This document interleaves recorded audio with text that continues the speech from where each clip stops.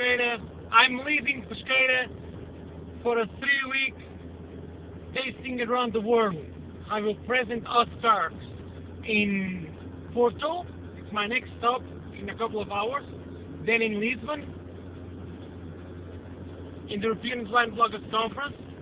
Then I will go to um, Hong Kong for the Hong Kong Wine and Trade Fair. Then Holland and finally Belgium. I will come back in to the Douro in the 18th of November. Bye! End of Pesqueira. Look, look, look, look. Bye bye.